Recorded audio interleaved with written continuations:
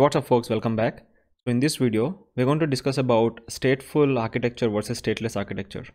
This is a very simple concept, but it's very important from the interview's point of view. And you must have heard this term often in the cloud perspective as well. So I'm going to cover about the basic concepts of how the stateful architecture is different from stateless architecture. And I'll give you the key differences that are important in stateless. And also I'm going to cover some of the services that are important in Google Cloud uh, from the stateless perspective. So as part of this video, I'm going to take a very simple example where a user is trying to access an e-commerce website. Now, let's say you are planning to architect an e-commerce website and a user is trying to access that website.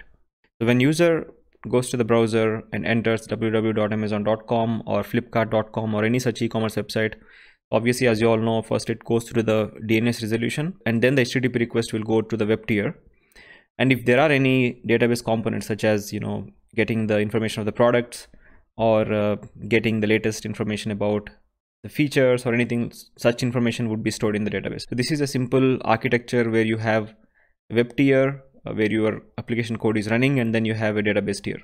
So obviously you will not have only one web tier. Either you are dealing with uh, a cloud infrastructure or an on-premise infrastructure you will have many users connecting to multiple servers now this is where I'm going to talk about a stateful architecture. Now let's say user A, user B, user C are there as part of the example and they're trying to access the e-commerce website. And the e-commerce website is hosted in all these servers. So in the stateful architecture, what happens is the state of the users are maintained inside the server.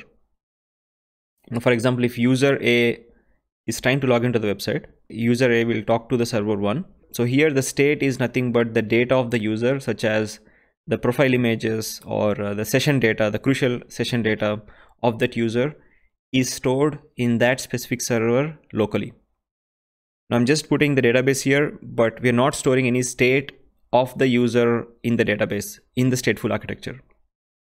Now the problem with this is let's say server 1 goes down now user A was trying to buy some products from uh, the website and he or she has put in her products or his products in the checkout page, right? Or uh, have selected some products and now he's planning to buy those products. Now at that point of time, if server one crashes, so what's going to happen is now user A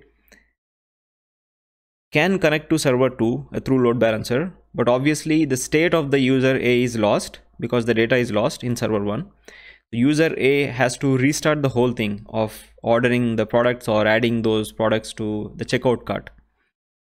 So that's a fundamental issue with the stateful architecture. So where you maintain the state of the information in the server so at any point of time if there is an issue with the server then users data is lost. So we cannot route the user to server 2 or server 3 now, obviously, if you look at this architecture, the basic disadvantage of this stateful architecture is the availability issues. Now, for instance, if server A or server 1 was down, we cannot connect user to server 2.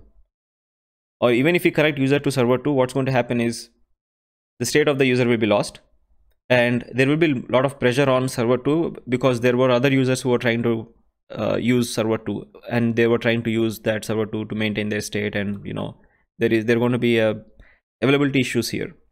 And the other important factor which is very important from the cloud perspective also is scalability. Now if you look at the previous diagram you cannot scale horizontally because even if you want to scale the session is maintained inside the server right? So even if you put more servers you have to replicate that state. So that's going to be a tough task unless you're going to maintain the state in a common location. So that's when we're going to discuss about the stateless architecture.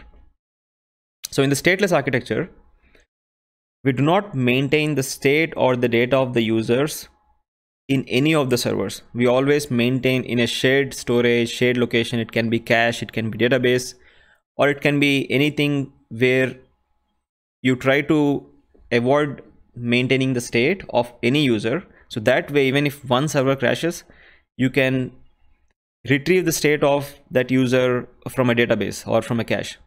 That's pretty much is a stateless architecture and it's a very simple architecture and more scalable architecture. So let's say if I want to create this simple architecture and show it to you how it's going to work in a real time you will see you have users on the left side and then the request will go to the load balancer and from the load balancer you have a round robin algorithm that routes the request to the web tier. So in the web tier you will have multiple servers. In aws world you will have auto scaling groups or in uh, gcp world you will you'll also have auto scaling so you don't have to worry about managing the servers. So they can scale in and scale out and the state of the users is maintained either in the cache or in the common database most usually it is maintained in the cache because it is easier to retrieve and it is in memory and it's much faster than maintaining the state in a database but there are situations where you you can maintain the state of some information of the user in NoSQL databases because they can scale horizontally. Now from the cloud context, whenever you're trying to go to an interview and if uh, you're trying to design something as an architect, the most important thing is whenever you're trying to choose a service so it depends on whether you're going for a stateful architecture or a stateless architecture. Let's say you're trying to install a database. And the database will be existing in a vm but database require a persistent storage right? So that's more like a stateful architecture where you need stateful you need information of the database stored in the in a local drive. But any services or when we talk about the microservices they pretty much are designed in a way they are stateless services because microservices can be in thousands of nature. If you look at the netflix architecture you must have seen there are thousands and thousands of microservices and no way you can maintain the state of each microservice in a specific in that uh, server.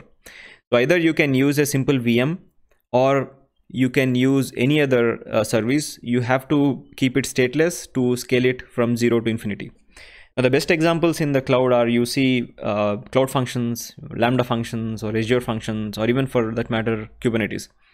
So whenever you're trying to create microservices or any service in a cloud function, it would not maintain the state because cloud function is designed in a way that it will start from zero without having any micro VM, but based on the load, it will scale out. You will have multiple micro VMs. So and with that, uh, with the less traffic, it will scale back or scale in back to 0 or 1. So whenever you're trying to create a service, obviously you cannot have any state maintained in any of the serverless functions. You will maintain the state in a in a shared cache or a, a database. So this is a simple concept and keep this in mind whenever you're trying to speak in interviews, whenever you're trying to design something uh, with respect to any architecture. And you have to ask questions on how you want to maintain the state and whether you want to go for a stateful or stateless architecture. Hope this small video was helpful and you got some understanding about a very important system design basic concept called stateful versus stateless. I'm going to come up with more system design basic concepts that will help you to learn cloud services and also prepare you to become a better cloud architect. Thank you all for watching this video. Let me know in the comment section if you have any questions around this. Let me know your thoughts if you want me to come up with such videos on system design. Thank you. Bye.